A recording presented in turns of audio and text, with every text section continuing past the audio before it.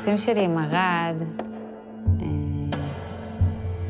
הם די קוטביים. אני מצד אחד מאוד מאוד אוהבת אותה, מצד שני, פעם מאוד מאוד שנאתי אותה.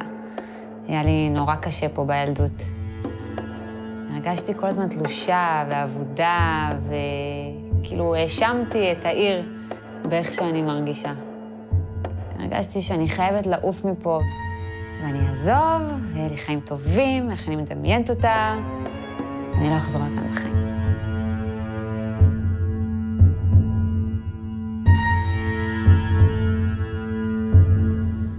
מור ולדמן, בת 30, מערד. אחרי הצבא עזבתי את ערד וטסתי להודו לחצי שנה. הודו התחיל לי שם מסע, מסע של החיים שלי בערך. התחלתי להתקרב ליהדות. וחיפשתי פשוט שמישהו יגיד לי מה לעשות, כי אני טובעת בדרישות של, ה... של העולם הזה. כי גם בתור ילדה גדלתי די לבד, ההורים שלי התגרשו כשהייתי נורא קטנה. אני צריכה דרך מאוד ברורה שתגיד לי כן, לא, שחור, לבן, איך צריך לחיות, כי אני לא יודעת. ואז נכנסתי בפול גז. חזרתי בתשובה נורא נורא מהר ונורא נורא קיצוני. אה, אחרי כמה חודשים שם חזרתי לארץ, דוסית, כאילו מאחת שאין לה שום קשר לעולם הזה, כאילו, אף אחד לא תיאר לעצמו שאני אי פעם אחזור בתשובה.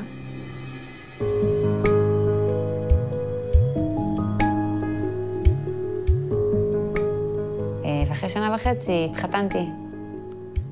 החתונה התקרתה נורא מהר, ותוך חודש אחרי החתונה כבר הייתי בהיריון. אחרי, כמה, אחרי הלידה, אחרי כמה חודשים עוד הריון, אחרי זה עוד הריון, ובגיל 28 אה, נראה לי, אחרי ארבע שנים בתשובה, מצאתי את עצמי שלושה ילדים. אני בתוך בית, ארבע קירות. אין לי שום דבר שלקחתי איתי, ופשוט מדוכאת. אה, הדבר היחיד שעזר לי לקום בבוקר זה ידיעה שיש לי את הילדים, שאני צריכה להחזיק את עצמי בשבילם, אבל בפנים הרגשתי מתה. בעצם בתחילת ההיריון השלישי כבר הבנתי שזה לא יכול להמשיך ככה. הייתי עם שתי תינוקות בבית, ועוד תינוק בבטן. היה לי הכי קשה היה לי הבדידות. שהרגשתי לבד. רק רציתי שאני לא אתעורר בבוקר, כאילו אני לעצמי לא אעשה כלום, אבל לא רציתי לקום בבוקר. ואת רק בבית, את רק מחתלת, את רק מנקה, את רק מבשלת, את רק מניקה. פיזית אני חלשה, אני עייפה, אני לא ישנה. אני סביב השעון, סביבם, אני לא עושה שום דבר, שום דבר שממלא אותי.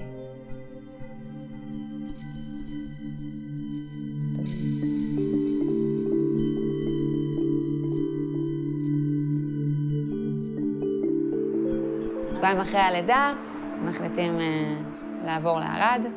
אני מגיעה לכאן בעיקרון בעל כורחי, לא, זה לא היה החלום שלי. החלום שלי היה לא לחזור לפה. המשפחה שלי ראתה איך אני נראית, והם דחפו אותי ללכת לטיפול. כאילו, אם לא, אין, אין אימא לילדים יותר. ושם אה, לאט לאט הבנתי כמה אני משקרת לעצמי וכמה אני חיה חיים שלא קשורים אליי, שלא קשורים לנפש שלי. אה, והדבר הראשון שהבנתי זה שאני צריכה להתגרש, כי אין טעם לחיות נישואים שלא מאושרים, כולם סובלים מזה. זו ממש מתאימה לדעתי, איפה היא הייתה. אבל יש את של שתיהן ביחד. כשהיינו ילדות, אז אה, גם אני וגם סיוון היינו בחוג תיאטרון, וחיכיתי ליום של לשחק ביחד, שזה קרה. שנה אחר. עשרים שנה אחרי. של שתינו יחד. ושאני עוד דוסית שם, אני עוד עם הכיסוי. בקיצור, מה שאני זוכרת זה שממש זה היה בימים הראשונים. שחזרת לערד. לחשוב איך, איך נראית לפני אה, שנה ומשהו, ולהסתכל איך, איך את היום, לראות אותך זה היה אה, קשה, ושאת צריכה סוג של הצלה. איך נראיתי? ממש מבולבלת. כי גם המקום שבו גדלת, והמקום שאליו הגעת עם החזרה בתשובה ועם הנישואים אה, בגיל צעיר וההורות בגיל צעיר והטוטליות הזו בתוך ההורות ו- וגם אני זוכרת שהיה לך איזה, איזושהי אמירה ש- שאת רוצה עכשיו את עצמך. כאילו, לפני שאת, אה, לפני שאת אימא, את מור. וכאילו, בהרגשה שלי, את, את נלחמת על עצמך. זה פשוט, אני גם לפעמים מסתכלת על עצמי כזה, כאילו, וואי, איזה חזקה אני, אבל שעה אחרי זה אני יכולה להגיד, וואי, זה הכל משחק, הכל הצגה, כאילו, מה אני מנסה להוכיח? אני לא באמת אצליח. שעה אחרי זה אני שוב, וואי, אז תתחיל את איך את עושה את זה, איך את משלבת הכל. בסדר, אבל נראה לי שזה, שזה בדיוק העניין. כאילו, הדיבור הפנימי הזה, ש, שאנחנו מדברים עם עצמנו כל הזמן להזכיר לעצמנו, שכן, אנחנו מסוגלים, וכן, אנחנו יכולים, וכן, למרות שקשה, אם יש לי מטרה, אני אשיג אותה. בועה שהתנפצה כמו זכוכיות על כל גופה, בעיקר בתוך ליבה, דמעות של דם זולגות פתאום על המחר, על האתמול, משעול תחתיות אספני.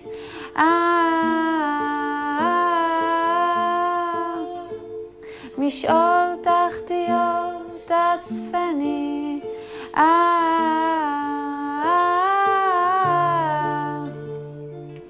כתיבה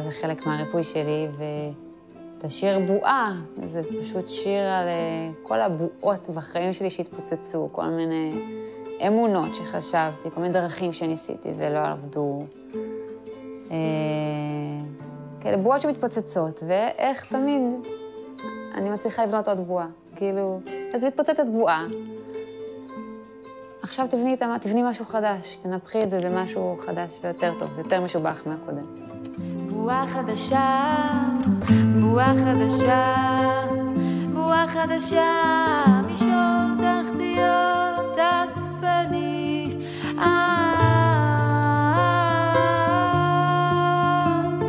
משעול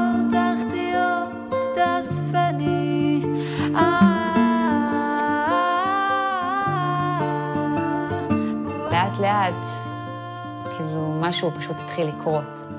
היה לי כאן יותר ביטחון, גם משפחה קרובה פה, גם חברים.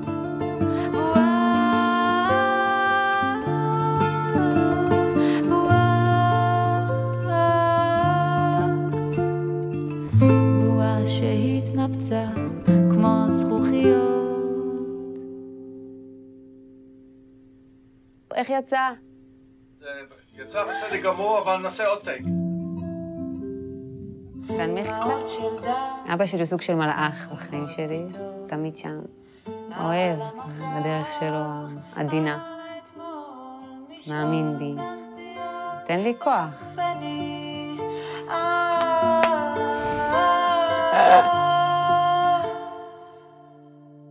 מוכנים?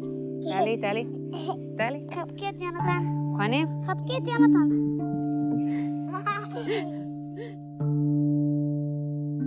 מוכנים? סופרת עד שלוש. אחת, שתיים, שוקו בננה.